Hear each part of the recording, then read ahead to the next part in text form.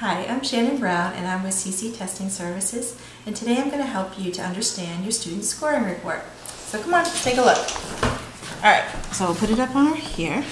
So you've been to our website or you received an email telling you your student's report was ready. You downloaded it and here's what you have.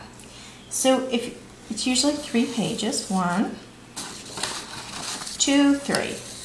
If you have a second grader or a ninth through 12th grader, your report is only two pages. All right, so you've got this in your hands. What do you do? So I'm going to kind of walk you through what I would do when I look at these reports, or even when you call me and say, Shannon, can you help me? I don't understand this. So this is what I'll do with you. Okay, so up here, in the, up here you have, let's take a closer look. You normally have your student's name, grade, student ID, date of birth, and then over in the other corner, no, we're going to go, you'll have your um, classical conversations as your district, and then your school will be listed. And that's usually the location that you tested at. All right, so let's come over and look at the subject. So, what is on a sixth grade test? Here, I've actually highlighted, yours doesn't come highlighted, but I've highlighted the subject. So, vocabulary is a section on the test. Reading comprehension is a section. Math problem solving is a section. Math procedures is a section. Language is a section. Science, excuse me, that's spelling. Then we have science, social science, and listening. The other stuff are other stuff that they're asking you, like you have your thinking skills basics. That is not actually a separate test. Those are like built in questions they're embedded in other questions. So they're seeing how well you're have your thinking using your thinking skills. Then we have a basic battery and a complete battery. Those are um, the basic battery includes all your scores except science and social science, and the complete battery includes everything, including science and social science. And it gives you um, we'll look at it in a minute, but it kind of takes all your kids, all the subjects, puts it in a little blender, shakes it up, and tells you how your student did overall. So let's um, let's go here. Let's look at these columns, which are often misunderstood. So RS, that is what we call the raw score, and that is the number correct your student answered, not the number they answered, but the number correct they answered. And the next column is max points, and that stands for how many questions there were. So for instance, this little girl, we're going to call her a girl, um, she's, she got 71 out of 84 correct. Okay, and then you can see that for all the subjects. But the next column is called the scaled score. And scaled score, statisticians use that. Um, there's a lot, not much to say about the scaled score. What we're really, those are like people in the schools that are made to study all of the school's test results. That's what they, they look at scaled score. But um, really, all you want to see for scaled score is that your student's scaled score goes up every year. Okay, the next one, this is the number of people like this one. This is the percentile, the rank PR.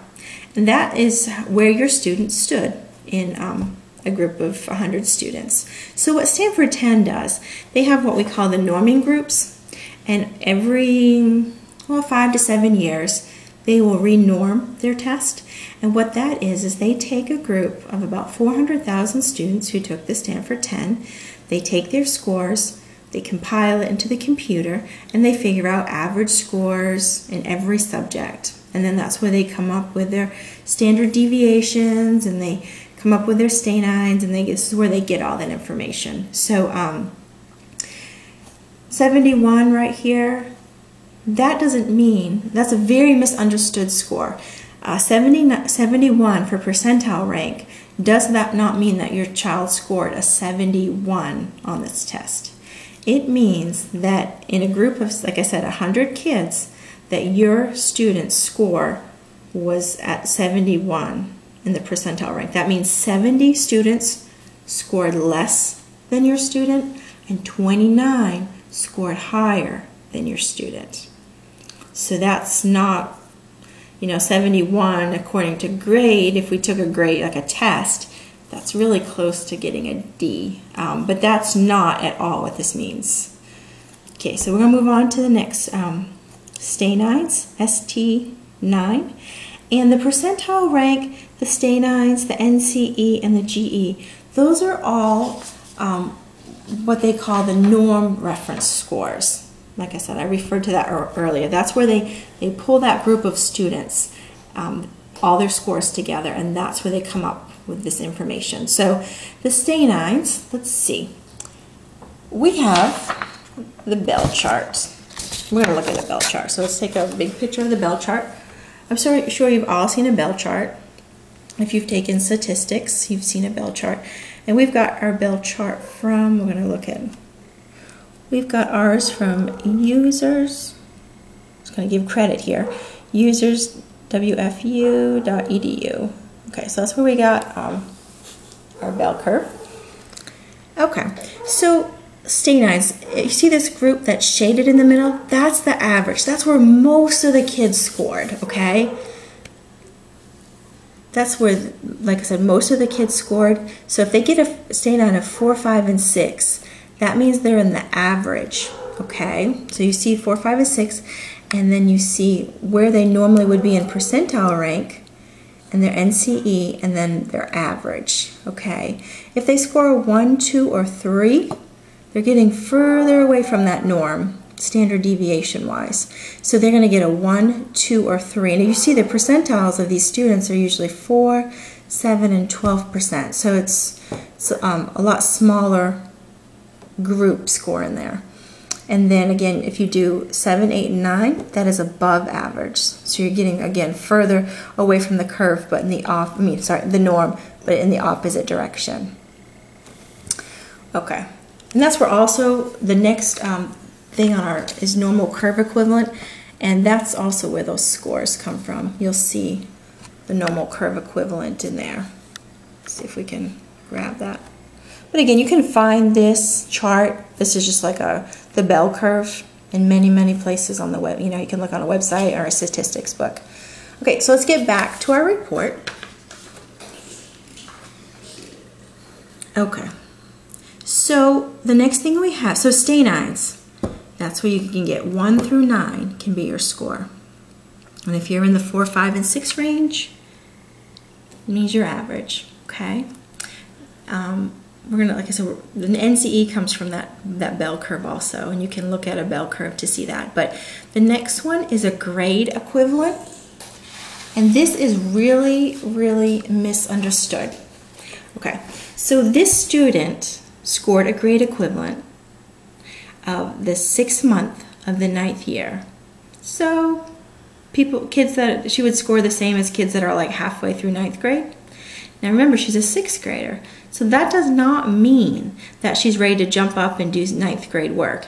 It just means that she scored as well on the test as an average ninth grade six month student.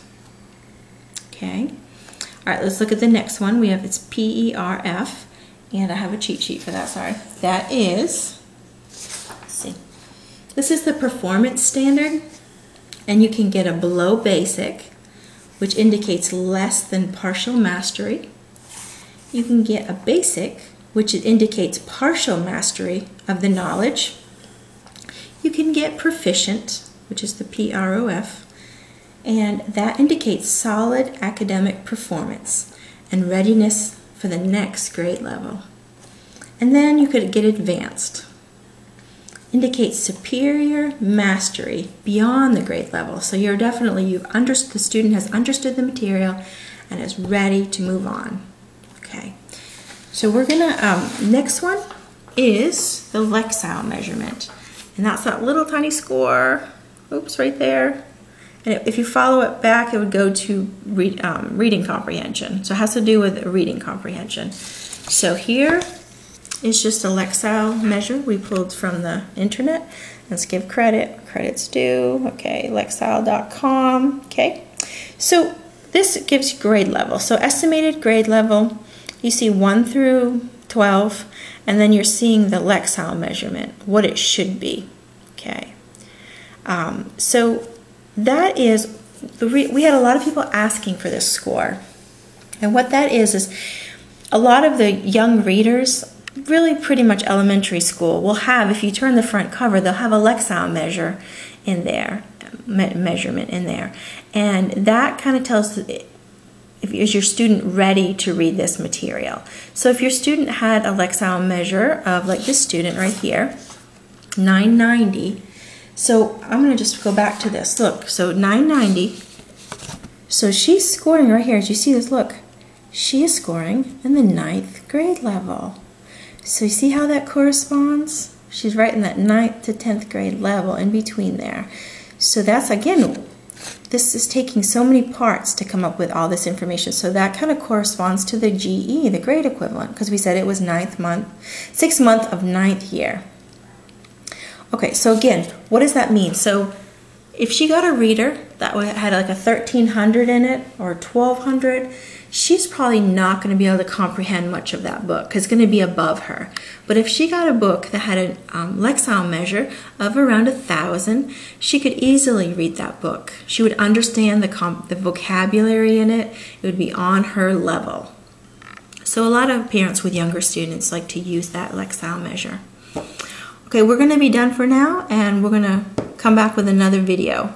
Okay, bye.